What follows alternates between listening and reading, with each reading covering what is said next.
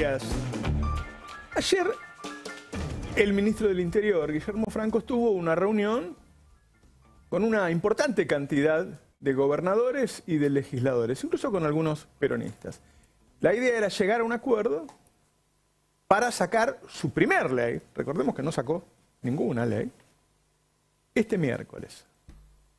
Llegaron a un acuerdo, lo que pedían los gobernadores era lo que necesitan para pagar sueldos, para mantener sus provincias, que es la coparticipación de un impuesto, el impuesto país.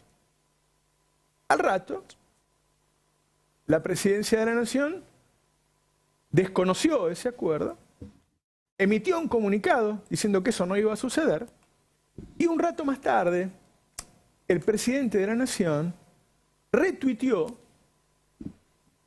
un texto de Joaquín de la Torre, un hombre de Juntos por el Cambio, en donde trataba a los gobernadores de extorsionadores. A ver, esto, no es algo espasmódico, no es algo que ocurrió una vez. Esto transformó en conducta. Es decir, el presidente de la nación que necesita sacar esa ley, hoy va a tener ruido en los mercados nuevamente, atenta contra él mismo. Existen personas que tienen esas características. Es decir, mientras él vaya corroyendo las posibilidades de la ciudadanía, porque no es el gobernador el que se perjudica, es la gente que vive en las provincias. Y no sé si habrá notado el presidente que todos vivimos en las provincias. Los que lo votaron, los que no votaron, todos vivimos en esas provincias. Es decir, generó un ruido importante. Ayer llegó un comunicado a los distintos entes estatales, universidades, hospitales, Ministerio de Trabajo, PAMI, diciéndole a los empleados que no iban a cobrar en tiempo informe y que no sabían qué día le iba a llegar el dinero. Ayer se anunció también que va a haber un nuevo aumento de combustibles del 25%, cosa que obviamente le va a dar impulso a todo el resto de los precios. Porque en Argentina, desde que el neoliberalismo levantó los ferrocarriles, todo se transporta en camiones, que no sé si sabrán, utiliza combustible. Es decir, cada día del gobierno de Javier Milei es más ruinoso, pero no ruinoso en el sentido de lo que tendría un gobierno exitoso que te hace sufrir a vos pero le va bien. Ruinoso en términos de estadística también, porque todos los días hay mediciones que dice que el presidente cae. Es decir, es crónica de una muerte anunciada. Es un gobierno, es un país que entra en descomposición de una manera rapidísima. Recordemos que De la Rúa lo logró en dos años. Este hombre llegó acá con este enorme deterioro institucional, político, económico, social, en 40 días. Muchos analistas pensaban que Milei, cuando llegara el momento de devaluar nuevamente, para que el campo le dé esos dólares que necesita liquidando su cosecha, más o menos en mayo, iba a tener que devaluar de nuevo, ahí iba a tener un nuevo pico inflacionario, y a partir de ese pico inflacionario se iba a generar un problema de gobernabilidad.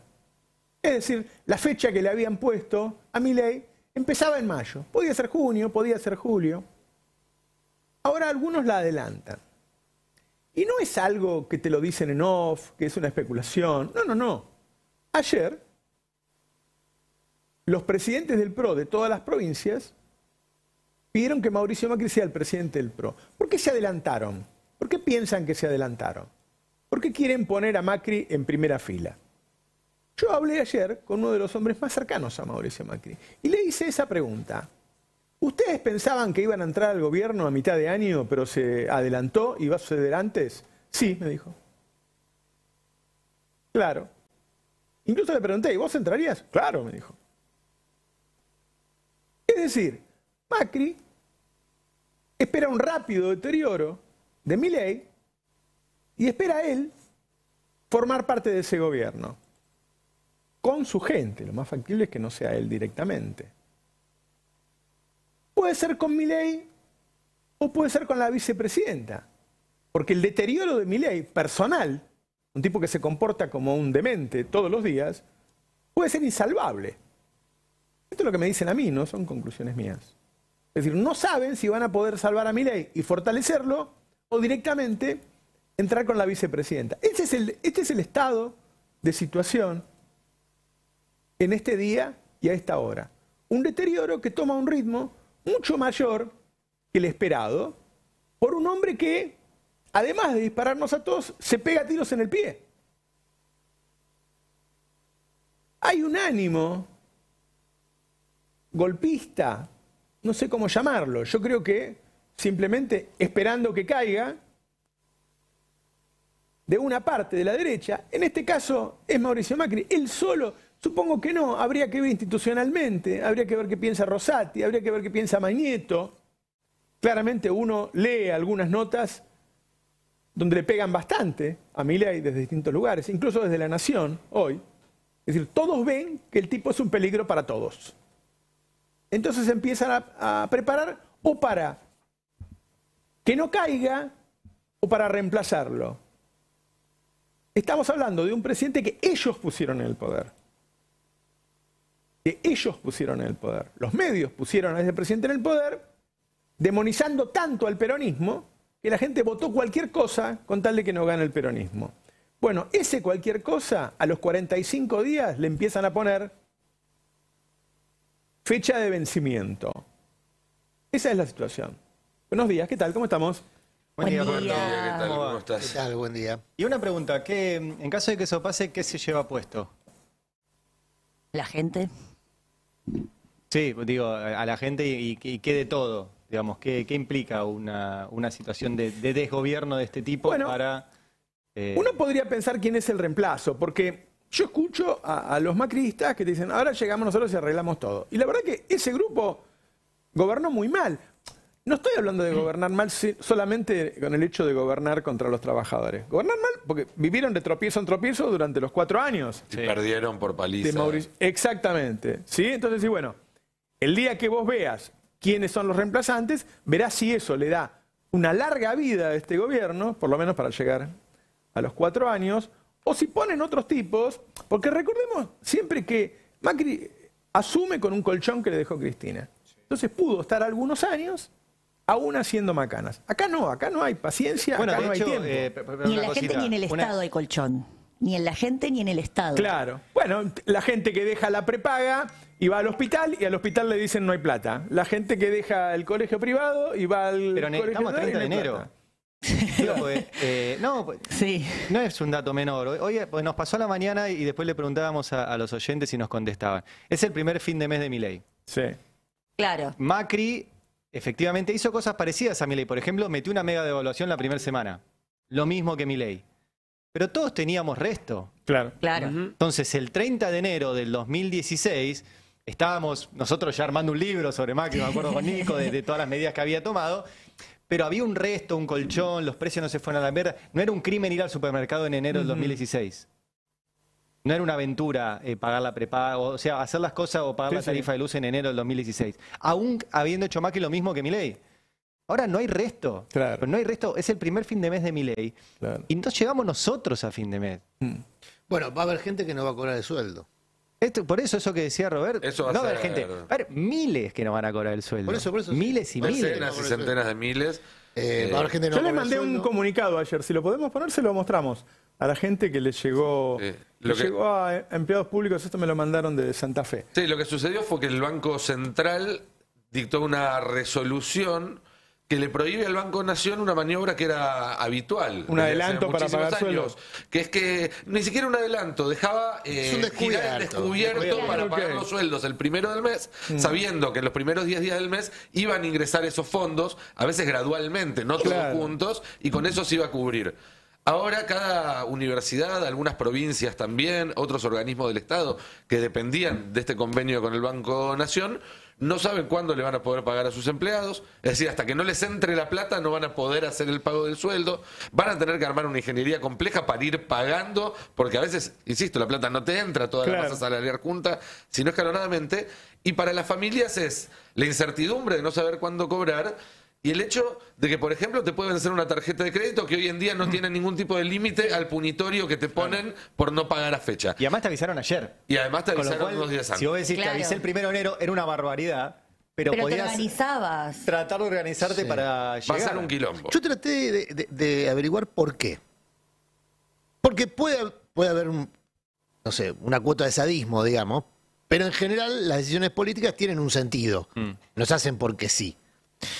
Eh, un sentido es contabilidad creativa, es patear a febrero las cuentas de enero para que le cierren las cuentas ante el Fondo Monetario a Caputo. Esto tiene que ver con cómo se contabiliza el ajuste. Puede ser, es bastante marginal, porque aparte la temporalidad es muy corta, es decir, no, no, no, el, el impacto es muy, es muy marginal. La otra opción que me, que me contaban es, bueno, el titular es Daniel Tiliar, el titular del Banco Nación. ¿no? Eh, es- viene de Córdoba, eh, era el titular del Bancor, es del cabalismo. El cabalismo tuvo una mala semana en la relación con Milei porque Ferraro, si bien en el último tiempo había sido un mileísta este, puro y duro, en la previa su patrocinio político había sido de Caballo y el cabalismo lo contaba como propio. Puede ser que este episodio sea una forma del cabalismo de ponerse en valor. También parece medio raro, medio exótico. Al final nadie tiene explicación. Es decir, te van dando explicaciones desde lo contable, contabilidad creativa, desde lo político, una vendetta, pero tampoco termina de cerrar. Nadie tiene explicación. Y, la- y el problema de eso es que, lo, hablamos la vez pasada respecto al riesgo de la incertidumbre. Si la sociedad no entiende por qué pasan las cosas, Claro. Eh, el culpable se vuelve mucho más nítido. O sea, la estás pasando mal. Claro. Hay un tipo que te la hace pasar mal Sí. y no entendés por qué. Claro, Ni siquiera el sentido que buscaba, el- la épica del, del Bueno, Marcos, sufrimiento. Pe- Marcos Peña forma. tenía siempre una explicación para lo que estaba. No, y, ayer. y esto no hay forma de adjudicárselo al gobierno anterior. y no, No, no, no. hay ninguna explicación posible que, que, que Pero del te digo cual yo- la culpa sea de Cristina. Ayer hablé con un funcionario eh, del grupo del equipo de economía yo.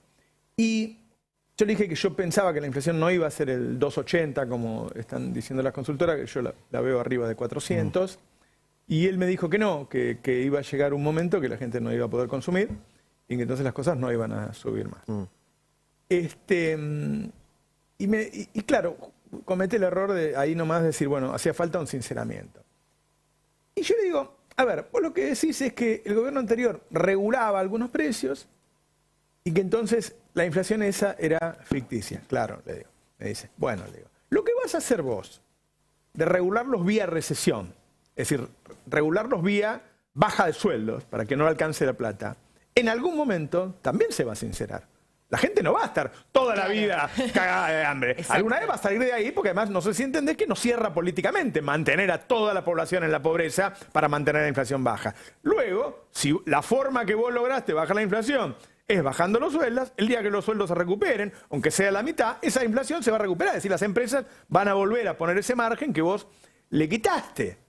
Pero, Roberto, ayer... Se quedó pensando Sí, el tipo, ¿no? Te quiero decir que eh, no, no son sistemas que sean consistentes. Y, y lo, que, lo que yo quise decir al principio es, pensábamos que esa inconsistencia se iba a ver al año, a los dos años. Ahora em, se empieza a pensar que cada día en Argentina Sí. el deterioro es muy rápido. Y que él cree que esas payasadas que hacen Twitter y qué sé yo son buenas. Y aparentemente, por lo que le dijo la Ditela, que la mayor caída la tienen los jóvenes, que la caída de su imagen es del 18% entre los jóvenes, aparentemente no es así. No, pero aparte, eh, el- el- la perspectiva de sufrimiento es aún mucho más severa que la que existía hace 15 días. Ayer Claro. el secretario de Hacienda, el- la, la persona de mayor confianza de Caputo, dijo que va a haber, que no se renuncia al superávit, que va a ser un superávit no primario, Financiero. Financiero. financiero. Mm. Esto implica un ajuste de 6 puntos del producto. Un ajuste de 6 puntos del producto no tiene antecedentes en el mundo. ¿Por qué? Porque es inviable políticamente. Y mirá que el mundo ha tenido experiencias políticas de todo tipo. Pero aún las más audaces, Claro. las más descabelladas, saben que 6 puntos del producto. Por eso nadie, ni la Argentina, con una dictadura, llegó a ese nivel de ajuste. Entonces, es muy difícil de sostener. Tengo un archivo en relación a esto que vos decías, para no irnos tanto de la ambición y la pretensión de Macri en lo que viene, que es corresponsable de esto que estamos viviendo. Fíjate, este, porque ahora los tweets son documentos históricos, ¿no? Claro. Los historiadores tienen que Hasta recurrir. los likes. Claro, hasta los likes. Que estar rastreando. sí. Primero de diciembre del 23. Estaba toda la discusión de qué rol iba a tener Macri en el gobierno de Milei. Mm, Dice, para llevar adelante el cambio que Argentina necesita y al elegir su primer equipo, dice Macri, me pone contento que Javier Milei cuente con la prueba de experiencia de Patricia Burrich el Ministerio de Seguridad, con la capacidad que demostró Toto Caputo en momentos muy difíciles de la economía argentina. Bueno, ¿qué hace Macri en este tuit? Muy interesante. Primero, le marca la temporalidad al equipo. Es el primero. Es el primero. Pronto va a ser reemplazado por otro. Pronto va a ser- y, y después marca a las personas Claro, reemplazables. Patricia Burrich y Toto Caputo. claro. que le adjudican a Macri, pero que Macri está dispuesto a entregar. De hecho, a tal punto está dispuesto a entregar que los conceden el primer equipo reemplazable. Claro. No so- yo creo que no solo está dispuesto a entregarlos, yo creo que son, son se transformaron en blancos de Macri, Mm. eh, porque Patricia Bullrich le está disputando la conducción de, del PRO. Y, y Caputo porque si bien viene del equipo de Macri, tiene una historia de Macri, no vamos a decir que están peleados, ni muchísimo menos, no era el plan A de Macri para la economía, no es el plan, si Macri tuviera que elegir al ministro de Economía, hoy no sería Caputo. Y si Macri pudiera elegirlo en el futuro, no va a ser Caputo. Entonces... eh, Va a cobrar muy caro el tiempo que esté para hacer un mega Eso seguro, eso es, seguro. eh, eh, eh, Pero es un hay- tipo que hace un ¿Vos negocio que uno de los candidatos que tiene para jefe de gabinete es el que quería poner de presidente de Boca. Tiene Ibarra. dos. ¿eh? Andrés Ibarra. Andrés Ibarra, Ibarra. sí. Tiene dos. Uno es Ibarra y otro es Dietrich, Mm. como jefe de gabinete. Que ese sería su alter ego en el gobierno, digamos. ¿No? Hay Y- que ver pero si hay- los empresarios lo Y dejan. Pero, Santilli en el lugar. Y Santilli como ministro del Sí, Interior. pero hay que ver qué, qué opinan esos otros Y empresarios. en la Cámara de. Diputados. Con Britondo, presidente de la Cámara de Diputados. Pero acá hay una trampa. Porque se discute esto como si el PRO no fuera parte ahora del dispositivo de gobierno, Claro, sí, cuando sí. en realidad lo es. Miramos, mi- veamos lo que dijo Ritondo anoche, después de que haya volado todo por los aires. Sí. El audio 13, por favor, Tano. Después, esto es después del retweet de, de la Torre, esto es de- después de que eh, ya sabían todos que había volado el acuerdo por los aires y Ritondo aún decía esto. Creo que se tiene que aprobar, que hay que aprobarla, que hay que sacar la ley, que es necesario por el cambio que votó la Argentina y que tenemos que hacer todos un esfuerzo. Y este esfuerzo es, si cada uno, como Mauricio recordaba su gobierno, no le decían, venía el cambio, pero la, la mía no. Claro. ¿no? Digo, y esto pasa. Entonces, es cuando decimos nosotros queremos producción y trabajo, pero antes tenemos que tener déficit cero, que la Argentina no emita, que no tengamos inflación, que esa inflación no genere cada vez más pobreza, que tengamos una Argentina mirada al mundo confiable para invertir. Entonces, este proceso que necesita hacer la Argentina en forma rápida, concisa, necesita de una ley que fije bases. Bueno, claramente ahí. eh, a ver, hagamos un poco de prehistoria en realidad. Lo que ahora contamos como el plan de Macri para tomar el Congreso en marzo era el plan de Macri para conformar el, go- el gobierno en diciembre. Dije Claro. Congreso antes, el gobierno. Sí. El plan, lo que ahora contamos como el plan de Macri para tomar el gobierno en marzo era el plan original de Macri que le propuso a Milei en aquella reunión en Acasuso, donde Milei, según la versión, le dijo que sí y después hizo otra cosa. Otros cuentan que en realidad eh, nunca le dijo que sí, quedó en contestarle y eh, después hizo otra cosa.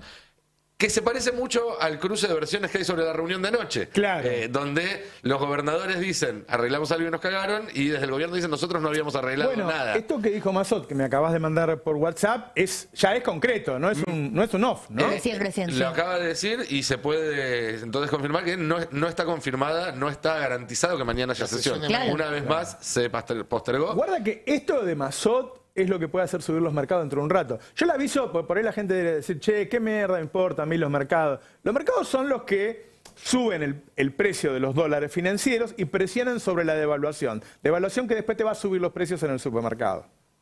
¿Sí? Entonces, ese es, ese es el problema que tiene. Y él se pega un tiro en el pie. A ver qué dice Mazot. eh, se, les planteó, se les plantearon todas esas cosas. Se abordó una necesidad que tiene el gobierno de dejar en firme un impuesto que lamentablemente se está haciendo cada vez más importante en el sistema tributario, que es el impuesto país, el que se cobra sobre las importaciones, sobre los consumos en el exterior y los cambios de divisas. Eh, un impuesto que tenía 70% de, de, de su producido y que iba al ANSES y el 30% que iba a la ley, una ley que es de mi autoría, que es la ley de barrios populares, del RENAVAP. Eh, ese impuesto se vio multiplicado por 10, porque a fines del año pasado se, se- agregaron muchísimos, eh, muchísimos conceptos a la base del impuesto y además mi ley llevó la, la alícuota del 7,5 al 17,5. Entonces ese impuesto va a recaudar 10 veces lo que recaudó el año pasado. Y el planteo fue simple. Sobre el incremental, eh, coparticipemos el impuesto, de manera que el ajuste que está haciendo el gobierno sobre dinero de las provincias pueda ayudar a que las provincias también eh, tenga- alcancen sus equilibrios fiscales. Un planteo recontra razonable, el vicejefe de gabinete y Franco se anotaban, hubo un diálogo de 20 minutos, preguntaron cuestiones, eh, te- terminaron diciendo, bueno, lo vemos bien, mándennos una escritura eh, y lo terminamos de conversar mañana. Eh, a la media hora, en una más de las desautorizaciones que ha sufrido el ministro Franco, que, que la verdad no, no, es, es- muy difícil ejercer el rol que ejerce él sin tener la autoridad de tu gobierno. Eh, no, nos responden por redes sociales, por, por, Twitter, que, que- que no era así, que no se había hablado, que no se había hablado lo que 40 personas atestiguamos, ¿se entiende, Ernesto? Entonces, es realmente muy difícil porque lo que uno no, no puede no pensar es que el gobierno no tiene ningún interés en esta ley y que el único interés que tiene el gobierno es en construir un enemigo. Bueno, Bueno, esto le pega un golpe a Franco también, ¿no? Porque se acabó la duda. Sale uno, a mí me lo dijo un gobernador ayer, eh, esto que está diciendo él, en off. Yo no, no puedo decir el nombre del gobernador. Ahora, Mazoto lo está diciendo, ya te digo, esto pega en los mercados y pega en Franco. ¿Y será cierto esto último que dice que no tiene interés el gobierno en la ley? Ah, ¿Es yo una maniobra yo no creo que haya que hacer reflexiones sobre el, el norte del gobierno, porque para mí es caótico. Mí Pero es la caótico. segunda vez que pasa que tienen a una ver, reunión y salen y pasa otra cosa. Hablemos del, de- del estado emocional del presidente, de cómo lo vemos cuando habla este, en estas últimas notas que dio, que parece que está que tomó un sedante. Este, de- dicen que ayer cuando llegó Franco se le empezó a los gritos y lo insultó. O sea, vamos, y ya sabemos quién es el presidente. Claro, no es que no sabíamos. Bueno, entonces ahí el tema es cuánto lo toleran sus sponsors. Mm. Hablamos mucho de la tolerancia social, ¿no? Y, y nos preguntamos desde el día uno cuánto sufrimiento tolera la sociedad. Ayer nos preguntamos Bueno, incluso- por ejemplo, no se están vendiendo autos, Por se está vendiendo un 70% menos de electrodomésticos. Yo supongo que toda esa gente. se, li- tener- se libera el precio de Discúlpeme, las- le voy a dar un Sí. caso, porque los autos electrodomésticos se hacen con chapa. Claro. Y la chapa la vende un señor. Este, Un solo señor. un, solo, un solo señor. Sí, entonces, bueno. También se llama Javier. Claro, Bueno, también se llama Javier. Pero mira, aún más, e- en estos, en estos ataques de furia que tuvo Milei en estos días, en otro tuit, el fin de semana había denunciado que habían corrido valijas con dinero de lo que ayer llamó el bloque extorsivo, Mm. a, a lo que ayer llamó el bloque extorsivo, antes lo había llamado eh, el bloque corrupto, que había sido permeable a, a valijas. Sí. Y mencionó los sectores que habían pagado las valijas. Sí. bueno, un off con Majul. Bueno, el sector- off Nunca se sabe qué es off-on, porque Claro. es como un chirolita de. ¿Viste? Ahora, el dato que a mí me llamó mucho la atención es que primero en la lista Mm. mencionó al sector de los biocombustibles. Sí. ¿Saben cuál es la empresa más importante de biocombustible de Argentina? ¿Cuál? Unitec Bio. ¿Saben de quién es Unitec Bio? Mm. De Urnequian. De Urnequian. Entonces, ¿cuánto toleran los empresarios que el loco, Mm. como le decían de chiquito, de mínima esté diciendo en público cosas que uno imagina no pasaron? A mí me, dijo, igual- a mí me ¿Entendés? dijo un funcionario. de mínima y los esté acusando de llevar valijas a diputados. A mí me dijo un funcionario de Juntos por el Cambio que está en el gobierno. Dos, dice, te voy a decir dos cosas respecto a eso. La primera que es cierta. Pero la segunda es que no se dice.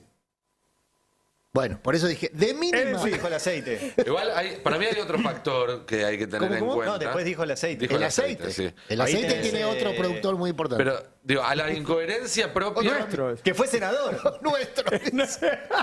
que fue senador mucho tiempo, ¿no? Claro. Sí, claro. Claro, Señor, sí, una familia de, poes- la- de poetas. Familia de poetas. A la incoherencia propia del, del presidente, creo que también hay que sumarle el hecho de que tenemos un gobierno que no tiene una conducción unificada. Es decir, la ley que mi ley está dispuesto a aceptar, es decir, los cambios que está dispuesto a aceptar, quizás no sean los mismos que está dispuesto eh, los sponsors Quizás no sea lo mismo que está dispuesto el ministro de Economía, quizás no sea lo mismo que está dispuesto el ministro de Interior, quizás no sea lo mismo que está dispuesto el jefe de gabinete, que, y acá eh, Sí. hago un paréntesis, en este momento está en Estados Unidos junto al jefe de la AFI entrevistándose con el jefe de la CIA. Sí. ¿Alguien me explica por qué el jefe de gabinete de la Nación Tranquilos, tiene que argentinos, reunirse total normalidad, con el ¿eh? jefe de inteligencia de Estados Total Unidos? normalidad. ¿Cuál es el digo que el jefe de la AFI se reúna con el jefe de la CIA? Ponenle son cargos equivalentes, tienen que intercambiar información, convenios. Sí. Uno puede ser muy suspicaz, pero entra dentro de la rutina. Que un jefe de gabinete viaje a Estados Unidos a reunirse de visitante con el director de la CIA. Yo, yo, es el tipo de cosas para las cuales me parece que está previsto que el Congreso llame al jefe de gabinete a, a hacerle preguntas. Por ejemplo, y de Claro. paso le conocemos la voz. Claro. Porque ya se la conoce, lleva, por escrito. ya se lo conoce el jefe de la CIA, Sí. pero nosotros todavía no le conocemos la voz. Ahora, eso es, eh, lo que vos marcás es central, Nico. Porque la ley y el DNU involucran negocios que si no se desarrollan, Mm. el gobierno pierde interés para estos grupos Claro. de negocios. Sí. O sea, si no pueden... Mirá, un detalle. Ayer salió una cautelar que impide la aplicación de la mm, derogación de la ley, de- que pi- impide la derogación de la ley de tierras que está en el DNU. Mm. Eh, tengo una placa ahí para mostrarles cómo esto afecta directamente intereses concretos. Eh, es una nota que publicó hoy Cristian Carrillo en el Destape a, a partir del informe de los IPEX, que hizo un relevamiento de las tenencias de tierras en manos extranjeras. Quizá esto responde a tu pregunta, Nico, ¿qué hace eh, Pose hablando con el señor de la CIA?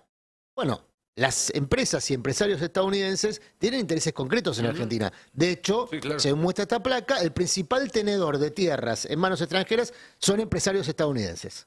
Después lo sigue eh, eh, empresario italiano, bueno, es Benetton fundamentalmente, españoles, suizos, chilenos, uruguayos, canadienses, franceses, holandeses, alemanes, británicos, belga y así. Bueno, luxemburgués, que Luxemburgués. me parece que el luxemburgués Pablo Roca. es, es un argentino. sí. Es un empresario argentino. que tiene sede en otro Sí, lado. otro negocio Ahora, pero es- perdón, perdón, termino con esto. Sí. Eh, eh, rápido. Si la ley de tierras que está prevista en el DNU finalmente no se puede aplicar, todos estos que necesitan esa ley para ampliar, hoy la Argentina tiene eh, una enorme cantidad de tierras en manos de extranjeros. Esa ley también- ya la bajaron ayer, se supone. Ayer suspendieron. Casi el 15% Sí, del territorio. Es el 15% del territorio, 60 veces cava. Mm. Bueno, si eso no se puede aplicar, ¿qué interés tiene toda esta gente en sostenerlo a mi de apoyarlo, claro. claro. Bueno, hoy hubo otra, otra noticia hablando de empresas que, que intentan obtener rápido un beneficio de este gobierno. Porque creo que es esto, ¿no? Es eh, quién, quién, quién saca Hay que guita. apurarse antes de que Hay que apurarse para sacar Sí. guita rápido. apuro, bueno, sí. eh, ayer hubo audiencia pública por la tarifa eléctrica. Ajá. ¿no? Y las empresas, primero fueron las, recordemos, la, la electricidad tiene generación, transporte de donde se genera las ciudades y distribución en las ciudades. La distribución es Edenor, Edesur, Edelab, que ya conocen, pidieron aumentos entre el 80 y el 100%, algunas más. Pero está la parte de transporte. El transporte en la Argentina es un monopolio. Hay una empresa que tiene el 85% del tendido de alta tensión, que es Transener. Transener es parte del grupo Pampa Energía de Marcelo Mindlin, que estuvo con Milei el otro día en, la, en el Museo del Holocausto. Porque la hermana Sí. preside el museo. Bueno, y, y él lo, y él lo financia y mi ley está ahí. Transener pidió un 209% de aumento en el transporte.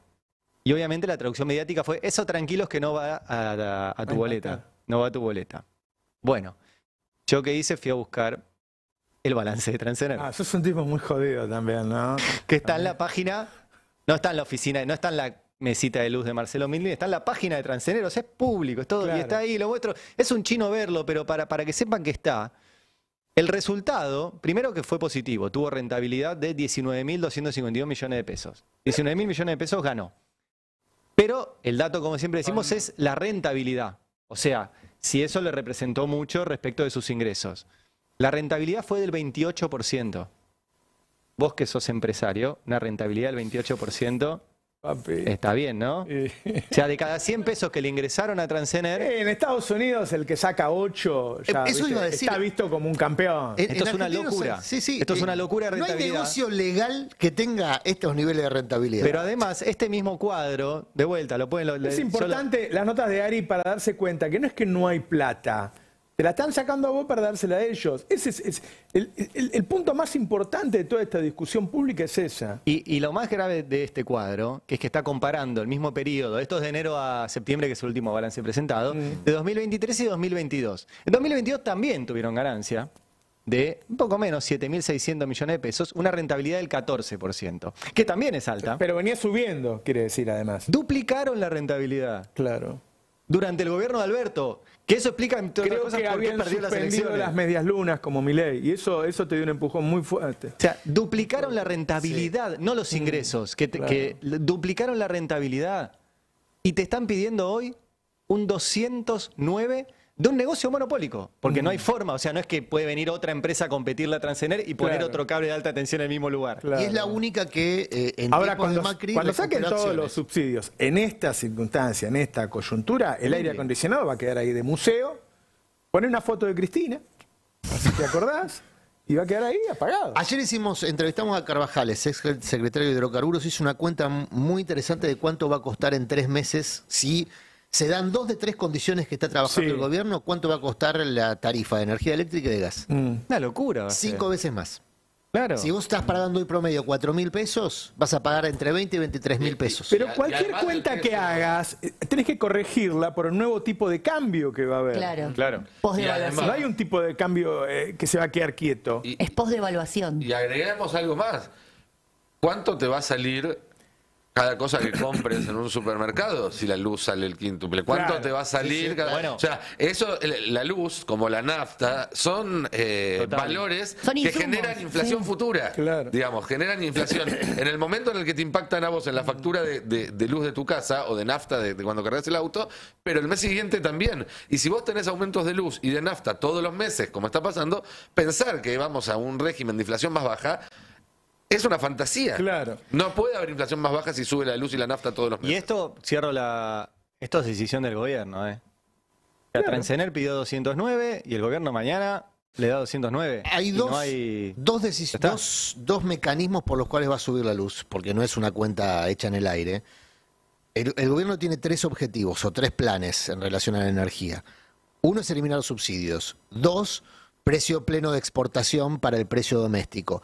Tres, una especie de canasta de energía que sería el amortiguador. Generar por consumo familiar un mecanismo eh, de subsidio a la demanda, cosa que está bastante gaseoso y bastante postergado, bastante, bastante lejos. Lo que está más cerca, por eso en la aplicación dos o tres meses, es estos primeros dos mecanismos que impactan en el precio de bolsillo. A eso sumale, decisión que se conoció ayer, que el- las familias, los hogares van a tener un incremento, de hogares populares, ¿eh? porque el tema de la educación privada se ha transformado en una primera necesidad de muchos hogares populares, Mm. la educación privada. Tiene que ver con la organización familiar eh, y demás. Bueno, si aumentan, de, como se decidió ayer, de manera desmedida, es decir, sin control, sin control del Estado, muchos hogares se van a ver este, también lesionados en su capacidad de pago Claro. por un- una primera necesidad que es la educación. Y después a eso agregale la estacionalidad de marzo. Estamos hablando de una inflación, de, si vos venís con un envión de 25 de enero y febrero, de una inflación de cuánto? ¿Sabés que nadie tiene un número? ¿De enero? No, de marzo. Ah, es muy difícil. No. nadie tiene un número. sí. Es raro porque en Argentina vos tenés, es Sí, deporte olímpico hacer difícil. proyecciones. No sabés de- quién va a ser es el deporte presidente. olímpico, tenés 25. Claro, Sí. o sea, es No sabés quién va a ser el presidente en marzo. Desde que hace un rato yo dije que, que, que, bueno, que Macri había apurado el tema de que lo nombren presidente del PRO porque él veía que los tiempos se apuraban y que iba a tener que tomar el gobierno antes. Y, este, y un gobernador y un legislador que responde a un gobernador, dos distintos, me dicen en ese tiempo, es que eso hay que apurarlo porque con Macri nos va a solucionar el problema a los gobernadores. Quiero decir que no es nada más que la voluntad de Macri de apurar la salida de Milei y que él le tome el gobierno, se lo tome dejándolo en ese puesto como decorativo. Tuvimos un presidente decorativo el último año y medio, qué sé yo, ¿no? No, no sería la primera vez, digamos la verdad. Y este, o que se quede la vicepresidenta con el apoyo de Eh, Macri. pero- Los gobernadores están diciendo, nosotros necesitamos que pase eso. Y después de lo de ayer, y después de lo de ayer, acá, este, de- desde el gobierno están desmintiéndome a Mazot, lo, lo tengo Mm. eh, Acá. De gobierno te desmienten a A Mazot. ¿Entienden a Mazot? Ellos ¿Pero ¿no? desmienten de Mazot? ¿Que, que se había llegado a ese acuerdo? Claro, no, com- no como coparticipación, dijeron, el impuesto país no, no coparticipado, están diciendo en el gobierno. Pero bueno, con estas cosas... Es que el impuesto país lo que aumentó fue su recaudación estrepitosamente, Claro, justamente. claro, es lo que está diciendo Mazot. Lo que quiero decir es que no es que Macri allá en el sur, viste, dijo, ah, bueno, che, vamos a ir. No, no, no. Esto que está haciendo Milei abona la posibilidad de que los gobernadores, te voy a decir más, si Macri asume y le vuelve a dar la coparticipación como corresponde a las provincias, porque la guita es de las provincias, no se la va a poder no dar a los peronistas, se la va a dar a todos. Un poco más, un poco menos. Bueno, la derecha... Con lo Ahí cual va a tema- llegar un momento que todos los gobernadores del país van a querer que, que Claro. Macri tome el poder. Pero, Entonces, pará, estamos- Ahí hay un pero dato si igual. quieren que sea Macri es porque el campo nacional no está presentando ningún relevo. ¿eh? Ahí bueno, está Moreno. No corresponde. ¿Por qué no corresponde? Ayer dijeron que que, está, Macri presente ayer relevo, que está gastando 300 millones de pesos mensuales en trolls. Así que guarda, es una inversión. Es una inversión. No sé dónde la saca, es una inversión. Por eso, él está trabajando, se está, se está mostrando como relevo. Pero guarda, lo que quiero decir es que esto le da más seriedad ya al hecho de que Macri se prepara para tomar el poder. Porque los gobernadores están diciendo, Pero- y sí, necesitamos que lo haga pronto. te agrego un dato. Si con este loco no tenemos plata para... Oíme, esto Claro. puede terminar mañana si no Claro, paga los claro, sueldos. claro, si los claro, sueldos hay que claro. pagarlo y le está diciendo, a ver, los sueldos se- deben pagar el día primero. Ponele del 1 al 5 si querés. Si no paga los sueldos, muchacho. De la Administración. Nacional. Bueno, el tema Se prende. ¿en el banco hay uno solo? Bueno, hay un debate igual ahí, hay un debate. A ver, no hay un debate, hay una cuestión. Cuando se sanciona el impuesto país, se establece que el 75% del impuesto país iba a ir para el Estado Nacional, para la caja del Tesoro, y que el otro 25% iba a financiar programas específicos, entre ellos sobre todo programas de vivienda.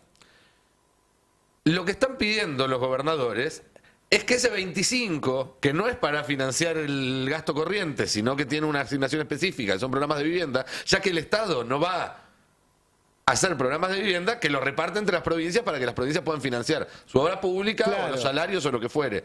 Digamos, están, están eh, peleando por una parte que no le corresponde a mi ley. No están pidiendo eh, que graciosamente mi ley Sí, se sí. da, sino que le está diciendo, che, te estás comiendo este cuarto que supuestamente era para algo que no estás haciendo. Hubo otra cuestión en el off de este fin de semana que le dio mi ley a Majul, off entre comillas, eh, porque realmente era todo un entrecomillado, donde dice mi ley que si no le aprobaban, eh, que, que a, a partir de haber bajado el capítulo fiscal, no eh, iban a ejecutar ni siquiera las obras públicas con financiamiento de organismos internacionales y que iban a usar ese financiamiento para alcanzar el superávit, Bueno. lo cual es absolutamente No ilegal. Eso no se puede. Absolutamente Claro. Eso no se puede ilegal. hacer. Repito entonces ante ese escenario la provocación de recién, que es una reflexión además. Si Bueno, Macri ya se también está, el se está maestrando como Es un relevo. ministro el que me escribe. Por eso, por eso. También el off es... eh, Le está disputando, ¿no? Me lo está diciendo por eso para que lo diga y yo obviamente lo digo. Si Macri se está presentando como relevo y nosotros estamos naturalizando que Mm. el relevo es Macri, Sí. es el único que está en el banco hasta ahora. Ahora, debiera haber de otros sectores de, de Sí, la política argentina, pero porque si no, María- eh, estamos, la- la- estamos eh, eh, presos de opciones de derecha. Sí, pero ojo, porque ahí A hay una cuestión lo eligió nadie. ¿eh? A- lo a eligió Macri no lo eligió, Institucionalmente, a Caputo nadie lo eligió, eso está claro. Pero nadie, Macri, para ofrecerse como relevo, ofrece o bien un pacto con el presidente o bien un pacto con la vice. No hay nadie de este lado que pueda hacer ese pacto Claro, no para se ofrecerse. puede. O sea, la situación en la cual podría entrar un relevo del lado del peronismo no a esta altura del partido es una situación que se pasa tres, cuatro escalones de gravedad de la es que, asamblea del momento en el cual se le juicio político. Exacto, a. Macri se le abre antes de esa Yo estoy puerta. hablando de la construcción política de un liderazgo que esté dis- disponible en caso de una Bueno, crisis este, institucional. este estoy hablando de jueves, eso. este jueves en el Senado, hablando de diferentes referentes del peronismo, eh, hay una sesión que fue preparada por el peronismo del Senado. ¿Quién es el peronismo del Senado? Todos lo sabemos. O sea, está Parrilli, Juliana Di Tulio, Cristina. Cristina, sí, sí, está conduciendo el peronismo del Senado, Claro. lo conduce Cristina. Eh, digo, porque algo conduce y es eso. Sí, Todo igual, ¿eh? La parte de Mayans, no. Bueno, me Bueno, parece que terminó acomodadito Mayans ahí, porque se, se quiso retobar y volvió a donde termina Tiene mandando. mayoría, Cristina. Gente de Cristina Exacto. tiene mayoría. Bueno, y, la- y- y los otros que se quieren renovar se van a meter adentro de la mayoría. Hay una sesión preparada para eh, de- Derogar el DNU. derogar el DNU y lo que están diciendo es, bueno, nosotros somos 33. Bien, eh, para que se acuerde la gente, ¿estamos bien los 33? Bueno, son los 33 en el Senado peronistas. Hay seis más que dijeron que estaban en contra. Entonces le están diciendo, este jueves, cuando haya sesión, ¿van a bajar? ¿Van a votar en contra? Si eso sucede, es una derrota legislativa grave para el gobierno, porque tenés una Cámara que ya le dijo que no al DNU. Claro. Le falta la otra, que, bueno, diputados ya sabemos lo que lo contamos todos los días, en lo que es. Pero tenés una Cámara que ya te dijo que no al DNU, no a la ley, al DNU. Sí, falta diputados. Falta diputados. Podemos que recordar, porque que estar se me mezclan, qué, cuáles son los, los puntos más importantes del DNU.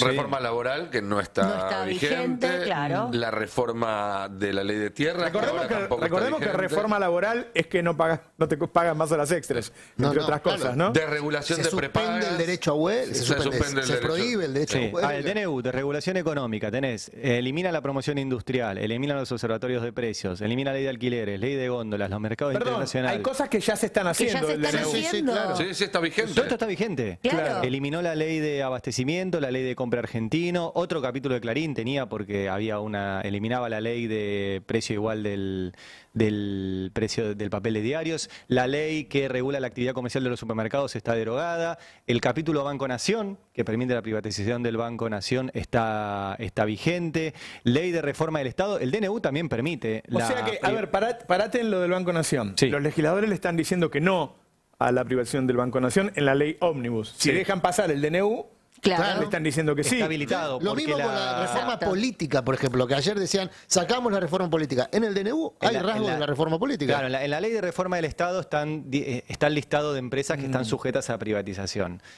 Y hay una excepción que es el Banco Nación. El Banco Nación nunca, pero ni Menem, que le, lo, permitía privatizarlo. Decir, Bueno, si Menem intentó privatizarlo. Está bien, que- pero no- después no- quedó no que no. Hay que ver que buena parte del campo lo necesita. Y- el Claro. Banco Nación, ¿no? El Banco de la Industria es el principal prestamista. el poder real. Es el principal Bueno, prestamista. Ho- eh, Hoy nos enteramos de que es muy importante para que la gente cobre los sueldos el 1 de- Claro. de, de- Sí. No lo sabíamos, la verdad no. Administración Nacional, El- claro. también el DNU vacía al Banco Nación porque le quita los depósitos judiciales. Eh, lo de las tarjetas de crédito Claro. está todo en el DNU. O sea, la eliminación de las tasas. Hoy mismo están cobrando Y acabo de llegar al cualquier La capítulo- gente está yendo al supermercado y sacando y financiando la Sí. compra de comida. Sí. Porque es una forma de ganarle un mes a la inflación. Ahora le Sí, están, le están Uno cobrando 400% Una locura, sí. de interés. Claro. Me decían que esas, esa- eh, esas tarjetas que hay este, barriales y qué sé yo, están cobrando más de 1000%. Y si pueden, ¿por qué no lo van a hacer? Eh, el DNU también, el DNU también tiene un capítulo que transforma a las empresas del Estado en sociedades anónimas. O sea, también está la O privatización. sea, estamos de las discutiendo, eh, diciéndole que por eso está bueno recordarlos, ¿no? Y recordar además quiénes no van a acompañar a ese bloque. ¿Qui- ¿Quiénes van a aprobar eso? Porque no acompañar es aprobar eso ahora. ¿Cuáles Sí, son claro. los seis? Eh? Para ¿Cuáles que, para que sigo, eh, bueno, está todo el capítulo de trabajo, que ya lo hemos dicho, aumenta Sí. el periodo de prueba, eh, reduce las licencias de ma- por maternidad, las horas extra que no Mm. te las paga, las horas de trabajo, elimina, eh, eh, f- beneficia la- los despidos sin causa, eh, elimina las, eh, los cálculos de actualizaciones de indemnizaciones, etcétera. Entonces el, capi- el fin de la ultraactividad, todo eso está en el DNU, ¿eh? Está suspendido, pero este, Eh, este capítulo. pero Un, un dato sobre el tema de las horas extras, para explicarle a la gente. Lo que dicen es, vos de ahora en más podés trabajar hasta 12 horas sin que te paguen horas extras. Esas horas que trabajaste de más te las deben y después te dan un franco. Eso te hace acordar a la época anterior al derecho laboral, donde la gente, ¿te acordás que se ponía en la puerta? Todavía lo veo en algunos country eso. Que ahí están la- la- las mujeres esperando en la puerta y le dicen, vos entrá, vos no entrá, qué sé yo, eh, mañana no vengas. Es decir, es hacerte lo que, es manejar tu tiempo, es adueñarte de tu tiempo totalmente. Vos ya no podés planear cosas con, con tus hijos, con, con tu pareja, compromisos, este, tener otro trabajo, que mucha gente hoy tiene un segundo. El tipo maneja tu día. Ujú. ¿no? Dormís 8, 12 trabajás, y el día que se le cante, según las necesidades de la empresa, ninguna necesidad del trabajador es tomada en cuenta, dice, mañana no vengas. Hoy no me hace falta. Hoy no necesito. Bueno, eso está. Eh, ¿Qué más? El DNU prohíbe la huelga. Sí. Prohíbe la huelga en los trabajadores de salud, en los trabajadores de transporte, En periodistas. periodistas, En periodistas. servicios de radio y televisión, actividades industriales, la actividad alimenticia, los, los que hacen alimentos no pueden parar, puertos, aeropuertos, distribución de alimentos, bancarios y docentes. Ujú. Docentes tienen prohibido parar. Tiene un capítulo de comercio exterior, tiene otro de bioeconomía. Eh, tiene, por ejemplo, de la ley del azúcar, que vieron que se sacó de la ley, Ah. pero está en el DNU. Por lo tanto, Claro.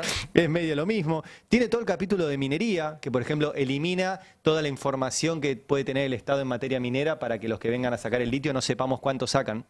Por ejemplo, eso está en el, el DNU. Tiene todo un capítulo de Yo energía. le pregunté a uno de los gobernadores de minería, por ese me dijo, no, igual no lo usamos.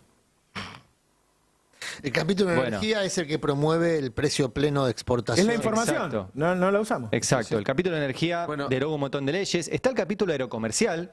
Claro. que entrega nuestros cielos, cielos, sí. eso está vigente. Eh, está, bueno, el capítulo en justicia, en realidad eliminan la ley de, de alquileres. Capítulo de salud, Los Sí. de las prepagas. eliminó... Salió un informe, después lo vamos a pasar, de, de la gente de alquileres, terrible, demoledor. Tremendo, demoledor. tremendo. Y todo esto está vigente. Esto que acabas de repasar, Ari, nos, de- nos vuelve a ten- poner sobre la mesa el hecho de que el DNU y el artículo 3 de la ley que delega facultades es el corazón Sí. de la propuesta de mi ley, del proyecto de mi ley. Claro. que Claro. todo lo otro, está bien, hay algunas cuestiones fiscales que no se podrían hacer ni, ni- ni aún con, con facultades delegadas y demás, pero que el 90% de lo otro que se está ahora negociando para Mm. sacar, para poner, para modificar, queda a sola lapicera de mi Las ley. cuestiones si Es que pasa este lo dijo DNU Juliana si Di Tulio, pasa dijo, la estamos discutiendo la, facultades". se los dijo a ustedes, si estamos discutiendo la ley es porque el- es para que el DNU siga vivo y siga vigente. Nosotros nos estamos distrayendo con la ley. Ah, eh, La- En el DNU está la liberación de exportaciones e importaciones totales. Yo ayer hablé un poquito de importaciones y conté que el mundo está en recesión. Cuando el mundo está en recesión, intenta venderte más a vos para cuidar su empleo. Entonces, abrir las importaciones ahora es suicida. Ayer me estuve informando un poco sobre el tema de las expo. Vieron que liberaron ahora se puede vender asado, por ejemplo. Había cortes que antes Claro. no se podían exportar. Ahora se pueden exportar. Tardó un poco, pero los frigoríficos ya tienen prácticamente cerrado esa venta. En el momento en que eso se instrumente, semanas, qué sé yo. Bueno, vos tenés eh, el kilo de carne en 25 mil pesos.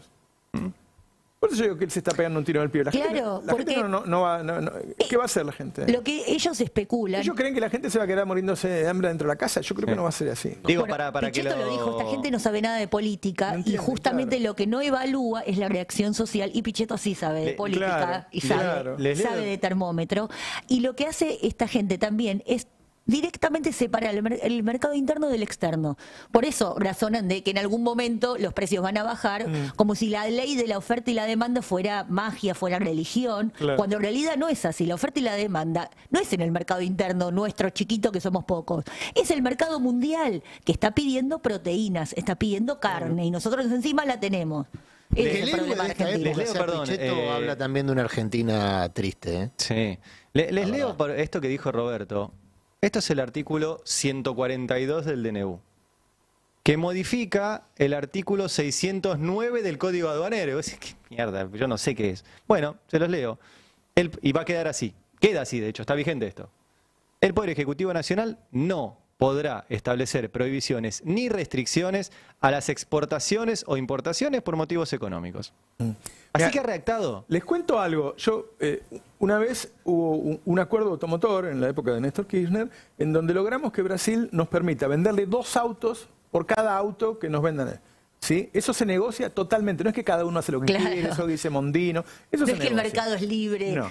Después de varios meses de negociaciones, se reunieron los dos equipos, fue Kirchner para allá, fue el secretario de Industria de Kirchner y llegaron a ese acuerdo. Yo me acuerdo siempre que yo lo felicité al secretario de Industria porque yo sabía que estaba creando miles de empleos de alta calidad, de altos salarios con ese acuerdo. ¿Sabes qué me dijo el secretario de Industria? Me dijo, no, no fui yo, fue Néstor. Claro. o sea, la, la gente cuida su... ¿Te acuerdan cuando eh, Macri festejaba que había vendido limones? Sí. Porque hacía como 10 años que estaban tratando de meter limones en Estados Unidos y Estados Unidos no nos dejaba entrar los limones. Entonces, no es que el capitalismo es como dice Milei. Y menos ahora, porque hay como una lógica de que ahora hay un avance de la derecha, un mundo neoliberal. Eso no es así. No es así, Menem sí tuvo un acompañamiento Así es, neoliberal claro. mundial, Reagan, Thatcher. Sí, sí, sí, sí, sí. Era el consenso de Washington en todo el mundo. Bueno, ahora no es así, está Milei solito, Zelinsky, o sea, loquitos sueltos en distintos puntos del planeta que no tienen soporte internacional, por lo tanto el contexto internacional no lo favorece y eso deberíamos tenerlo en cuenta en este contexto donde por ahí lo que se está empezando a pensar es eh, capitalismo de amigos, como decía García Linera, es bloques. Y nuestro bloque es el Mercosur. Claro. No es eh, Europa, como quisieron tratar de hacer con el acuerdo de Mercosur eh, Unión Europea. Hay que decir también que a los únicos que le podemos vender industria prácticamente es a. Es a Brasil. a- sí, bueno. Con acuerdo de Brasil. Con acuerdo, Sin acuerdo con Brasil, Brasil. Tampoco. Porque son las mismas Claro. empresas que tienen en plantas acá Claro. y plantas allá y un Claro. entramado productivo. Ahora, lo- Perdón, yo había preguntado repito- por los seis, ¿eh? porque es importante entonces. Hay dos, los dos ¿Quiénes son los santacruceños, seis? Ajá. A ver, los dos santacruceños, dos de Río Negro y dos de mm, eh, Neuquén. todos ellos se expresaron, según la previsión del bloque Unión por la Patria, se expresaron en contra del DNU. Deberían Exacto. votar entonces en contra del DNU. Con eso es lo que estaría el número. exigiendo. Deberían bajar al recinto y votar en contra. Primero bajar, ¿no? Porque eso Dar también quórum, es otra espeta- claro. eh, sí, Bien, dar necesita-. Y llegar a los 37. Necesita la tre- mitad de O sea, 72. cuatro necesita el peronismo. Cuatro para el Cuatro quórum. para el quórum. Claro. Y hay, hay que ver qué pasa y- con algunos radicales ahí, ¿eh? Ojo. No sé si le tengo. Radicales podrían dar No, quórum. no les tengo fe, pero eh, no sé. A ver. no, no presentaron No posición. está mal lo que decís. Lustó fue muy crítico del DNU. Lustó dijo, te hago una ley espejo. Por eso, fue muy crítico el Te hago, un- te hago una ley espejo. O sea, estás dispuesto a redactar el mismo texto, pero que Sí. sea por Yo me imagino ley. que Lustó. Pero me está bien, imagino pero que si, Lustó, si a partir de la las formas, debiera O sea, rechazarlo. es un señor de, eh, de las formas, no del contenido. Bueno, no importa, debía- ahí tiene una razón No, para es un rechazarlo. señor de la Unión Cívica Radical. Es y la Unión. Cívica Es Radical está muy preocupada con lo que está pasando en las universidades. Ojo, ojo, porque el tema universitario es un tema que va a ser muy, importante por dos cuestiones. Por un lado, porque es muy sensible el UCR y puede llegar a ser un punto de quiebre, no para todo el espacio, pero sí para algunos. Y también porque es un mundo que está muy organizado, de por sí, es Sí. muy orgánico el mundo de la educación universitaria y que cada vez que se levantaron, Se cargaron se- un se ministro. cargaron- con López Murphy se cargaron un ministro. Con Menem eh, tuvieron una pelea muy fuerte cuando fue la ley de educación superior. Eh, eh, es, eh, de acá a cinco o seis semanas vamos a tener un nivel de actividad por ese lado muy importante que se Claro. suma a la CGT, que se suma a los cacerolazos, que se suma a las organizaciones y sociales. que puede sumar al, al estudiantado. Eh, bueno, es que en las universidades es estudiantado, es profesorado y Claro. son los trabajadores. No es solo docentes. Los tres claustros. Exacto. Hay- hay un- ¿Puedo eh, pasar a, a- a otro tema que también tiene que ver con cómo se va a votar? Porque las posiciones que se han ido tomando en las últimas semanas también han generado consecuencias. Y en Tucumán está muy caliente todo, a partir de la decisión de los tres diputados que responden a Jaldo de abandonar el bloque de Unión por la Patria. Dicho sea de paso, ayer el vice de Jalil estuvo en el CIF, estuvo en la reunión igual que, que Jaldo. Con lo cual ya se da por hecho que eh, ahí también hay otro grupo que podría estar de salida.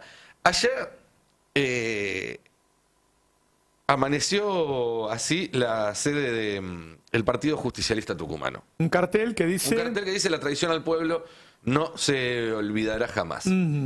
Y hoy, hace un rato nada más, la CGT Regional Tucumán sacó un durísimo comunicado, un durísimo comunicado, donde básicamente recuerdan la marcha eh, del, del miércoles pasado, eh, sientan la posición, Dicen que eh, la ley que se está proponiendo, entre otras cosas, criminaliza la protesta social y suprime los derechos laborales.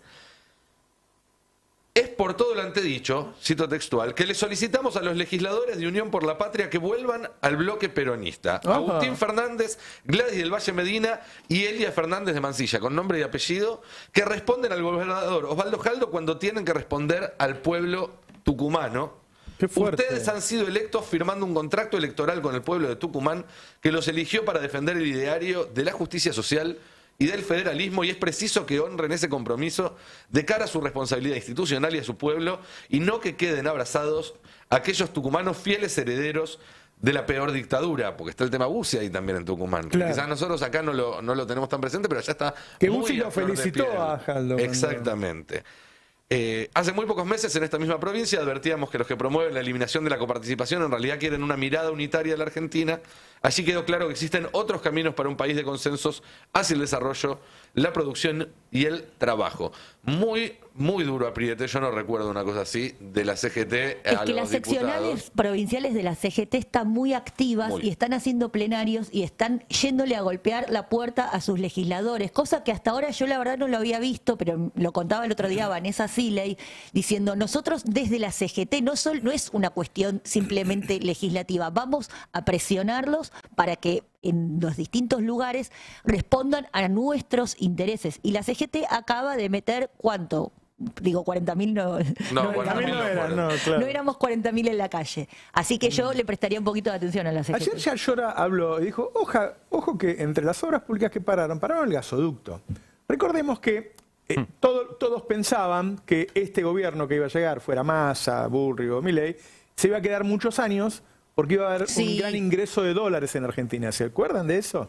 Bueno, eh, hay dos cosas. Primero, es cierto que la cosecha de este año es mejor que la del año pasado. No es récord histórico, es mejor que la del año pasado, porque el año pasado hubo una sequía. Pero los precios internacionales de los granos bajaron mucho con respecto al año pasado. Y además, eh, el gasoducto, eh, el, el que está sin terminar, el que no se hizo, es el que era para exportar. El norte. Entonces, claro, entonces esos dólares que se esperaban que iban a entrar y con eso iba a estabilizar la cosa, ¿lo tenemos? Yayora cuando lo dice, a ver, ponelo. Impuestos aumentás. Cuando vos aplicás un derecho de exportación, a veces cerrás una economía regional que estaba exportando. Y tal vez vos podés suplantar ese impuesto por un impuesto interno, que te quita competitividad, pero que no te saca del mercado exterior. Por eso, o por ejemplo, vamos a un caso cuando dicen, no vamos a hacer más ninguna obra. Joaquín, nosotros sabemos que Argentina tiene otras potencialidades. ¿Cómo no vamos a construir el gasoducto para poder exportar el gas a Brasil o para poder, eh, inclusive para dejar de importar Déjeme, gas? déjeme que le haga una pregunta sobre eso, porque Milei dice que lo hagan los privados. Ahora, ¿usted cree que hay privados dispuestos a hacer esta clase de... Si no lo hacen los privados, lo tiene que hacer el Estado. Porque un objetivo central de la Argentina es, ya tenemos el campo como un motor productivo, que este año va a tener una buena cosecha, pero Argentina no puede vivir de la danza de la lluvia, no puede vivir solo del campo. Argentina tiene que encender Vive- otros vive motores. desde su creación, necesitamos la minería con el litio y necesitamos el gas. Entonces, si no vienen los privados, el gasoducto lo tengo que terminar. Claro. Bueno, ese es otro tema. Los dólares que todos pensaban, porque asumiera Bullrich o Massa, iban a terminar el gasoducto. No son todos locos como este, iban a terminar el gasoducto porque son dólares que van a entrar. ¿Sí? Está suspendido. El tipo suspendió toda la obra pública. Está lleno de rutas por todo el país suspendidas. Y los trabajadores en la casa. Ahora, no tener el gasoducto es no, no traer los dólares. Es una locura. Lo que dice de Brasil, te apunto algo más. ¿Vieron que siempre esa discusión que hay entre Rusia y Alemania, que Alemania tiene una dependencia de Rusia por el gas y siempre vive amenazándolo con que le va a cerrar el gas? Bueno, le daría una relación de poder con Brasil Claro. a Argentina, que es el más grandote y que siempre negociamos muy difícil con ellos, tener nosotros la llave del gas de Brasil. Nosotros tenemos un problema que somos pocos. Viste que la mayoría de los argentinos se van haciendo racistas y no quieren bolivianos, peruanos. Nosotros necesitamos mucho boliviano, mucho peruano, mucho uruguayo, porque somos pocos. Somos un país chiquito que no tiene volumen para tener determinado nivel de negocios. ¿sí? Entonces nos sirve tener los brasileños que son muchos. ¿eh? Ahora, si nosotros no, hace, no, no, no tenemos el gasoducto, no le podemos vender gas, no tenemos ingreso de dólares y no podemos negociar de una manera un, poquito más potente con los brasileños. Eso es tener una mirada estratégica. Incluso para las provincias, porque cuando se hace el gasoducto, lo que destaca Cristina es que no quería que la traza sea solamente para afuera, sino para los hogares y las industrias argentinas, sobre todo las del norte, que no tienen gas natural. claro. Por ejemplo, Formosa no tiene gas natural. Entonces, ¿por qué una industria se va a ir a dar trabajo a Claro, Formosa? obviamente. Entonces, ¿qué tiene que hacer el Estado formoseño? Bancar a su ciudadanía con, desde el Estado, Claro. pero no tenés industria. Claro, y después eh, le dicen, eh, ¿cuántos empleados públicos que tenés? Claro, bueno, Claro. exacto. No, ¿por qué? Claro. Porque no, nadie se puede instalar en mi provincia, Claro. porque ¿qué le- ¿con qué va a producir? Bueno, la traza era clave en ese Claro. momento, por eso era necesario ir para Pero el norte. guardo que ahí también el tipo se pega un tiro en el pie, porque si no, no tiene gasoducto, no tiene dólares. ¿No? ¿Y cuándo va a estabilizar? Porque todo eso de que van a hacer un ajuste tan grande, que no van a emitir y que va a bajar la inflación, no va a bajar la inflación. No, bueno, a ver, en Estados Unidos, viste que vos subís un punto la tasa de interés y bajas la, la inflación, ¿no? Claro, los tipos tienen 3% de inflación. La querés bajar a 2 con un pequeño... Acá, cuando vos tenés inflación del 20, 25, puedes dejar de emitir todo lo que quieras. La inflación va a seguir. Hay una inercia. Y además vos le das manija, porque todos los, todos los meses subís la luz, subís el gas, subís el transporte, subís el combustible, subís los alquiler, subís la prepaga. Es Ah, una indexación de los la... Y, al- y lo que no puedes vender lo puedes exportar, Ari. ¿Entendés? Entonces, no hay forma, es inconsistente. A mí me parece que eh, el otro punto importante es lo que decía este, Adrián, ¿no? Que dice, bueno, y cuando deje de servirles a sus jefes, Ayer mismo, Ah. en relación a esto, se tomó una decisión de eliminar o de eh, eh, suspender los aportes del Estado a los parques eólicos, a la energía alternativa. El principal, hay dos empresas, eh, pero la principal explotadora de campos de energía mm, de este tipo es el grupo Macro. Estamos hablando de que hay grandes jugadores de la economía argentina que son aparte jugadores diversificados, que tienen intereses, ¿no? El grupo Nequian, el grupo Macro, tienen intereses en varios rubros sensibles, de alimentos a energía, que se empiezan a enojar. eh, Porque están esperando negocios, no solamente que no, que no fructifican, sino que además empiezan a retroceder en negocios que ya tenían concedidos. Lo que vos mencionabas del gasoducto es un negocio que es- estructuró Techín. ¿Por qué? Bueno, porque Techín necesita el gas para su planta en Brasil. Claro. Es el principal productor eh, acerero de Brasil, con planta en Brasil.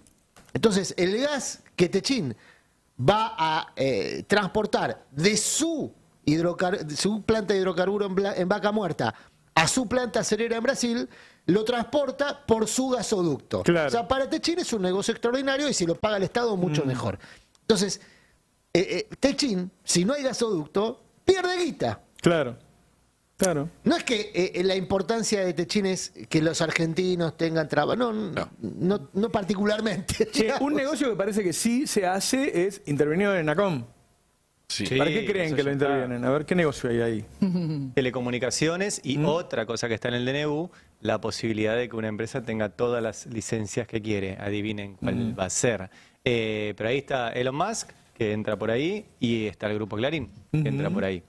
Eso Van a competir ahí, Clarín y Elon. Eh, O se van a repartir. Ahí, bueno, hay que ver. Este, El- el compiten en de- Internet, que Elon Musk tiene la posibilidad de darlo en cualquier lugar, mientras que Clarín solo donde tenga tirado el caño de fibra. Eh, y después lo que le permite también mi ley a Elon Musk es dar servicios de contenidos. Que hay que ver si Elon Musk se asocia con alguien que le meta contenidos en su en su red. ¿Es el principal apoyo internacional que tiene hoy Milei, Elon Musk? Mm, Es, es el más elocuente. es el más elocuente, Es el más elocuente. eh, y en términos culturales también. ¿Alcanzan los apoyos internacionales de este tipo para compensar lo que pueden ser Vos decís que se va a diferencias, poner enojos? triste Elon si No, Milei yo digo que en una disputa No, de suelta en negocios... cinco minutos, Elon Musk. Imagínate lo que le representa. En una disputa de negocios, por eso a mí me preocupa que el campo nacional tiene que tener su relevo preparado.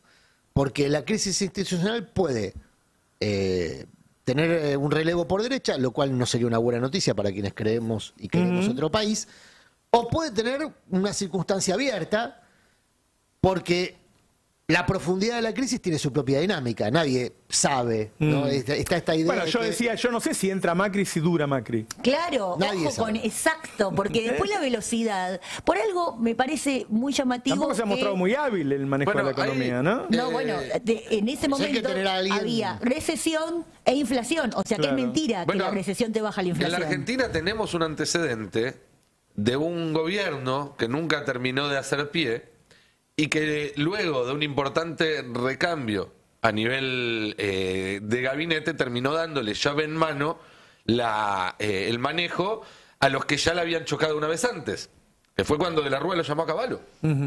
Y eso no terminó bien. De hecho, en muy pocos meses la situación se deterioró aún más y terminó en la mayor crisis institucional y política de los 40 años de de democracia. hasta hoy. caballo. Y la experiencia de Alberto y Cristina, que vos mencionabas recién como un presidente este, ornamental, tampoco fue una experiencia positiva. No, claro que no. Eh, No, estamos eh, acá. Es muy difícil, es muy difícil delegar el, el poder.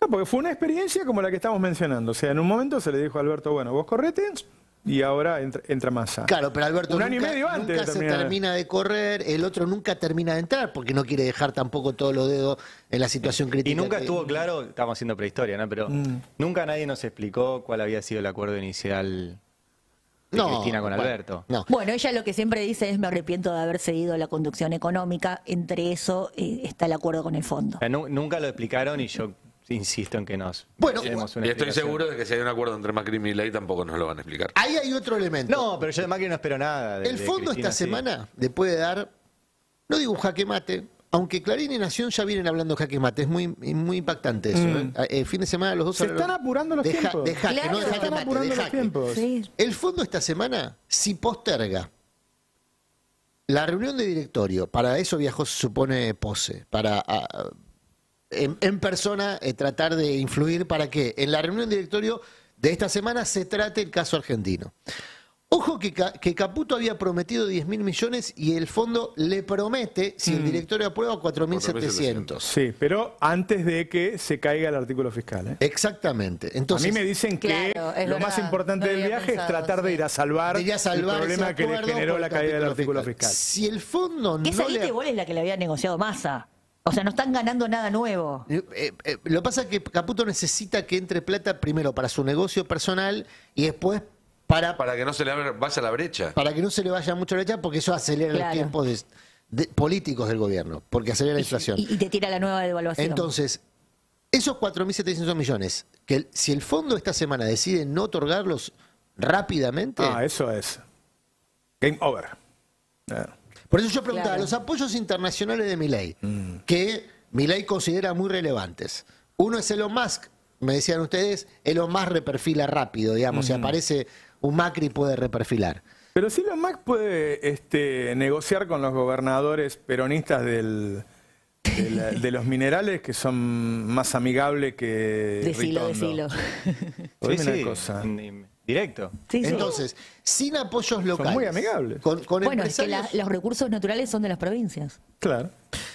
¿qué, qué, qué otro apoyo le queda a Milei para sostenerse, además de una base electoral? Que por lo menos si uno se, se, se guía por la sensación térmica de las redes, que es muy mentirosa, esa base electoral todavía la, la sostiene, digamos. De ve- de- me refiero a los 29 puntos de, de la paso, ¿no? Mm. Eh, El informe este, ¿Hay el informe otro este que lo pone a- órgano de poder? El informe este que lo pone a Moreno como el hombre que más está gastando en, en trolls y todo esto, lo pone primero a Milei con una cantidad de dinero impresionante, ¿no?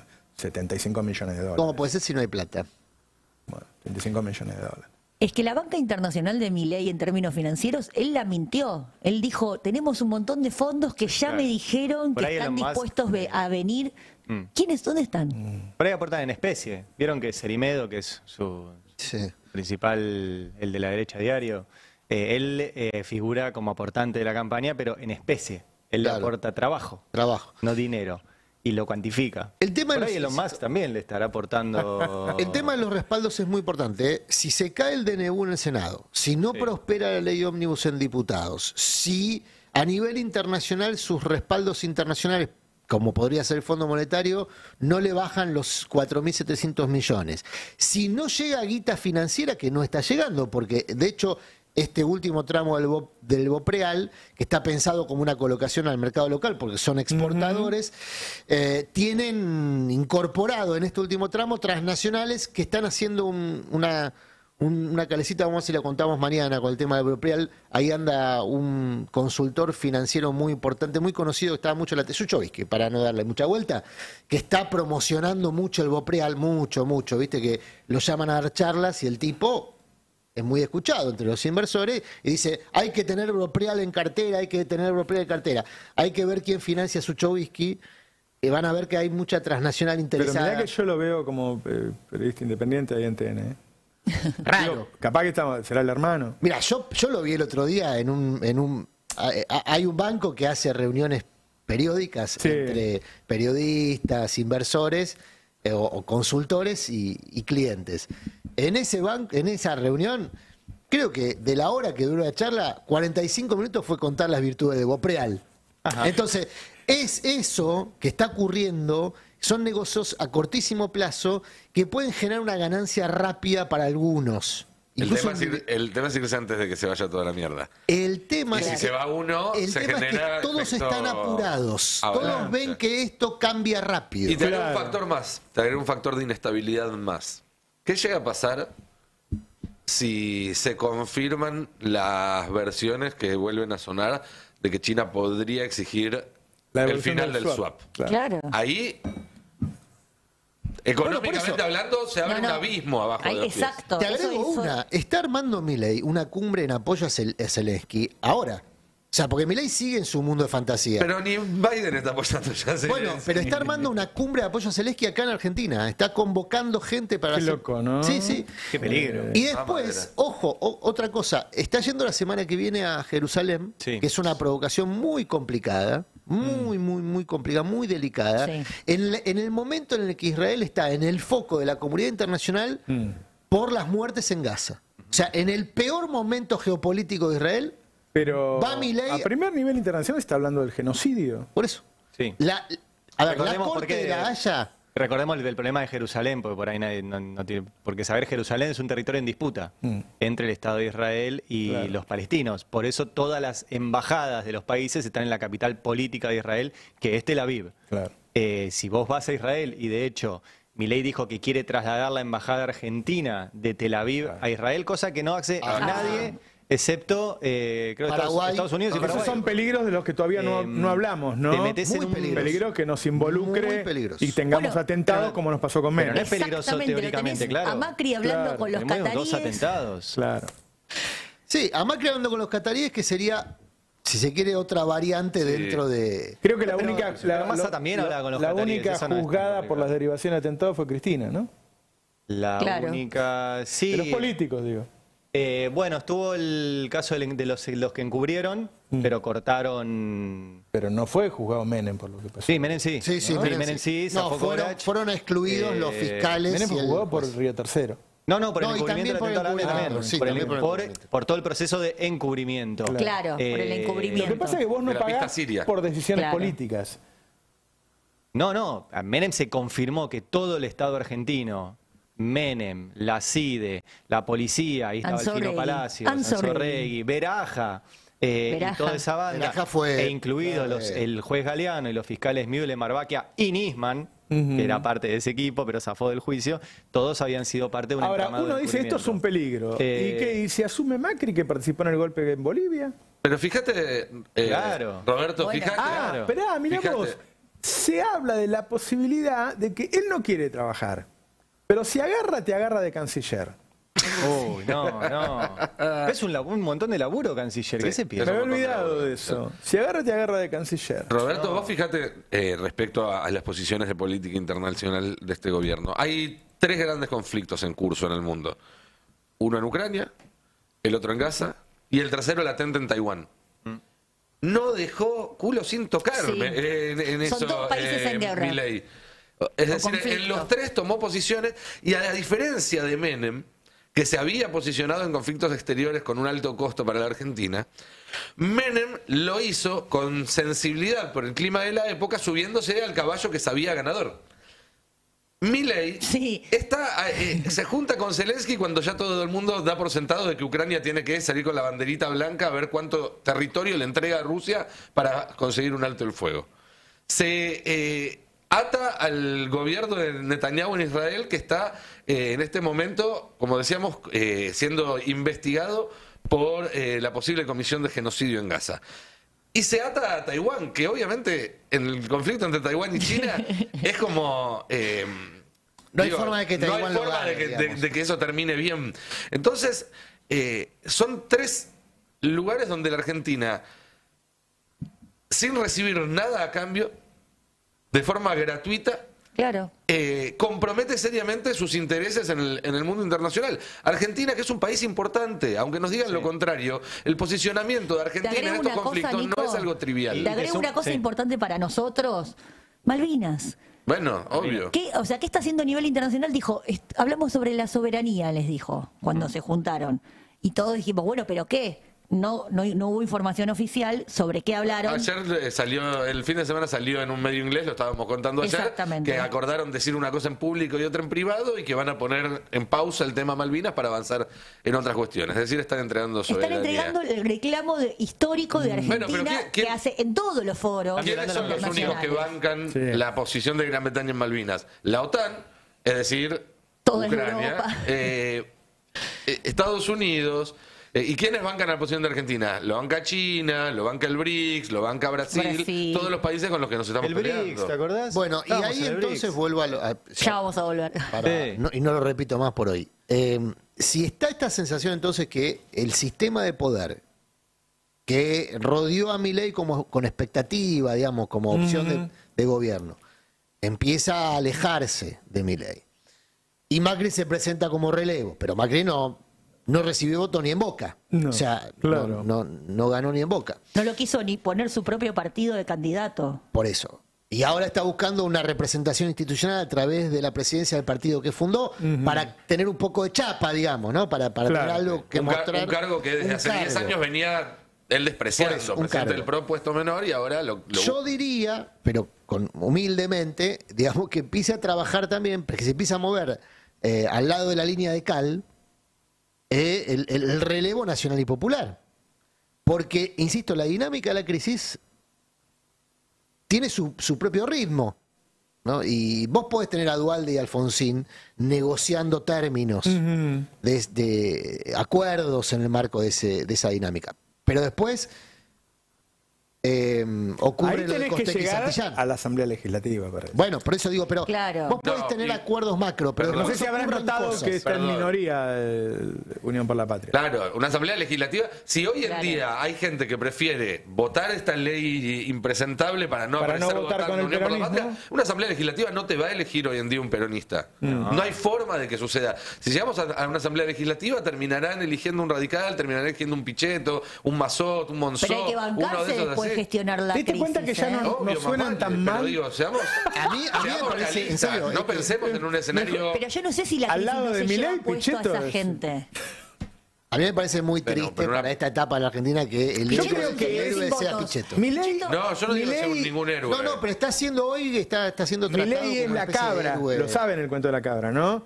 El tipo que este, tiene 20 hijos, el suegro, la suegra, este, y está desesperado, no puede vivir más en el ranchito y va, le dice al rabino, mirá, yo me me voy a suicidar, no puedo vivir más, es una locura, tengo 20 chicos, a hacer un quilombo, no puedo dormir, no puedo vivir, qué sé yo, y el cura le dice, vamos a una cosa, dice, llévate esta cabra y ponela ahí. ¿Cómo voy a poner? Somos, ve, lleva la cabra, ese tipo. La semana con la cabra fue demencial. el tipo, ya la cabra, lo último que faltaba. Cuando vuelve, le, le dice, mire, usted, me empeoró las cosas. Tranquilo, todavía no terminó el proceso. Devuelve la cabra. Cuando volvió, el tipo dice, mirá qué tranquilidad que hay en casa, qué bien que estoy. Milei es la cabra. Cuando saquemos a Milei vamos a aceptar un presidente de derecha como Macri. Porque vamos a decir, ah, no es Bueno, es, por eso para mí es muy impresionante lo que te decía el gobernador. y- Menos si vino Macri, vamos a decir. Pero no sé si la, o sea, estamos haciendo futurología, ¿no? Pero digo, la, la profundidad de esta crisis Mm. no es como la profundidad de la crisis de Macri, que tuvo una contención y una salida. Por eso yo creo que es, eh, no, no necesariamente el, el gobierno se salva porque entre Macri. Y por Claro. eso es importante lo que dice Adrián, que para cortar esa espiral descendente de eh, gobiernos fallidos, en algún momento se va a tener que reconstituir una opción eh, sustentable desde eh, la sociedad. Y por lo tanto, entendemos nosotros, eh, Desde el campo popular. desde el campo popular, desde, desde el progresismo, desde el peronismo, desde la izquierda, pónganle el nombre que quieran. Ahora que si progresismo amplios. ahí Moreno no entra porque es alérgico. Ten- Bueno, Moreno hace mucho que no entra a ningún lado, Moreno porque fue no quiere. elecciones. Él juega- Moreno, pero, pero, digo, digámoslo, Moreno fue elecciones, no pasó las paso. Por afuera, pero además fue por afuera. Y Fue- además llamó a votar en contra del peronismo. Porque que lo haga el FIT, bueno, el FIT tiene su propia partido. Igual, digo, no, no- es cuestión de personalizar tampoco. Eh, yo creo que debería estar todos adentro. Tendría que estar Moreno, tendría que estar eh, los gobernadores, los intendentes, Como la una nueva dirigencia también, ¿no? O- Obviamente con un recambio de dirigencia y con un recambio también de qué tenés para ofrecerle a la sociedad. Porque para ofrecerle lo mismo que ya pasó, no, no va para ningún lado y no te van Bueno, a. ¿viste no cómo cuesta la autocrítica, no? ¿Viste cuando yo pregunto, "Uh, eh, enemigo, como, gri- qué sé yo. Decir que es tarde, pero la, la- No es el momento. Esta noción No es de el momento. es con todos, Es yo, yo la discuto, ¿eh?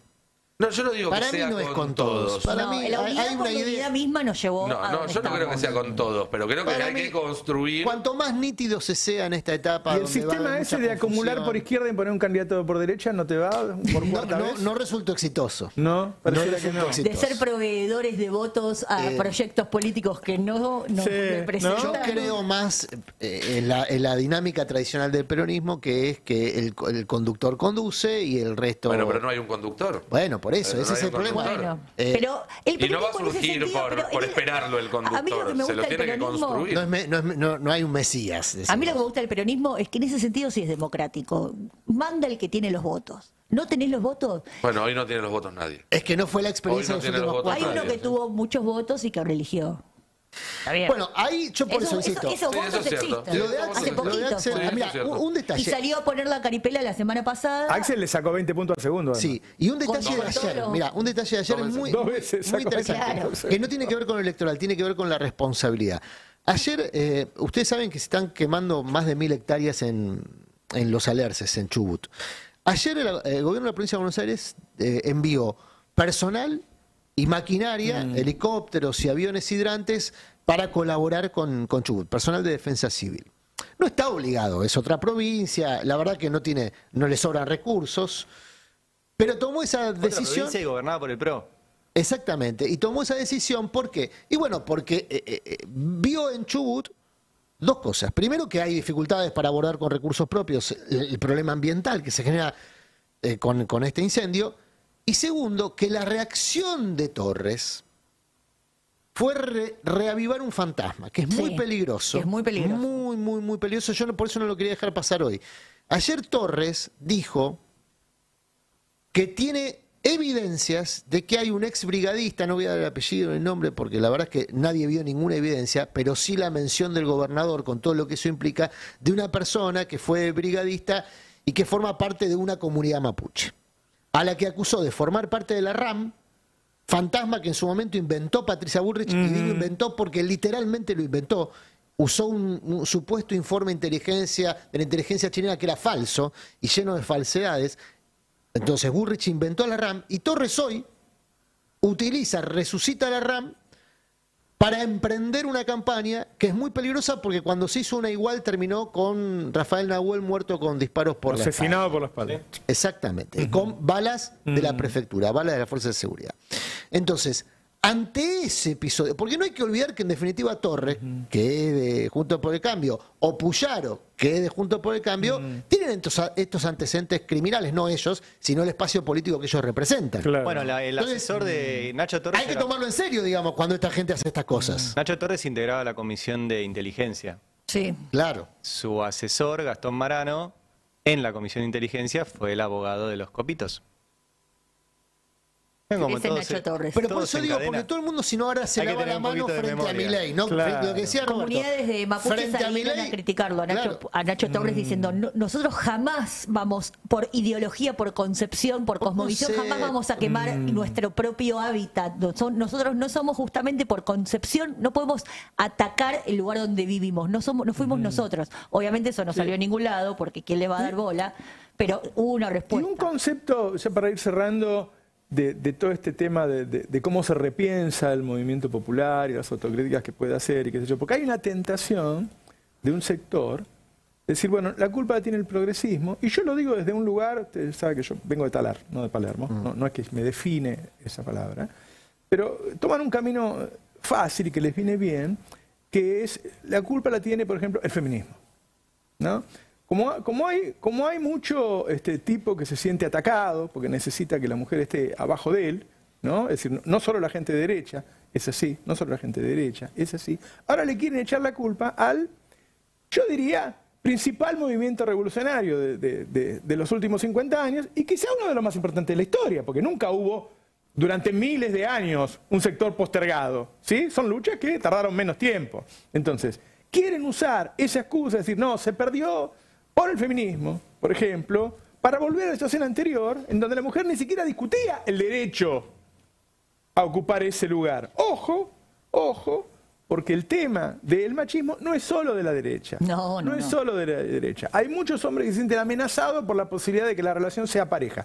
Entre parejas, en el laburo, en todos lados hay una amenaza sobre eso. Entonces, guarda, pues yo lo estoy viendo mucho, esta discusión de, de que ahora son, la culpa tiene el progresismo y qué sé yo. Yo hay cosas en las que discrepo, por ejemplo, la, forma en que el progresismo se, manifiesta sobre este, la delincuencia, qué sé yo, porque he vivido en lugares donde me asaltaban todos los días, yo lo quería matar al tipo y qué sé yo. Hay que estar ahí y te cambia bastante el discurso. Ahora, no aprovechen para meterse con el movimiento feminista. ¿no? Me parece que esas son banderas que hay que mantener este, a todo o nada, porque en este revisionismo se van a cargar cosas que costaron mucho. Que sobre todo, de hecho, por ejemplo, la ley de aborto lo que hizo, ya que estamos hablando, ya que estamos en un gobierno que le preocupa lo fiscal, lo que hizo fue reducirle el gasto fiscal al Estado. Además de, eh, porque a ellos no les importa la vida, lo importante Claro. es la vida de las mujeres que re- se redujo la mortalidad materna de manera eh, impresionante. De hecho, nunca se había producido una- una- una- un descenso, una caída tan pronunciada, porque claro, no tenés muertes producidas por abortos clandestinos, entonces la mortalidad materna o sea, cae drásticamente en dos años nomás. Eh, pero además, lo que te hace es quitarle gasto al Estado, porque todas esas atenciones de los hospitales públicos en las salitas no están. Claro. Entonces, incluso hasta por un argumento fiscalista, lo digo porque Rodolfo Porque se, se- le atrevió ahora a Sí, volver a sí, poner sí. en cuestión Porque es lo que se viene y está de los dos lados, eso quiero decir. Y, y además es una falsa dicotomía. Como Pero si en es este país las mujeres no pasaron a votar durante el peronismo. Claro. ¿No? Es un chivo expiatorio. Claro, pero es medio facilongo, ¿entendés? Claro, bueno, sí. Que, que, pero que prueben, mira. De medio facilongo. bueno, está llegando Carlos Bianco, ¿no? El jefe de, de gabinete de la provincia de Buenos Aires. Bueno, muchas gracias. Chao, chao, Hasta mañana. Luego. chao.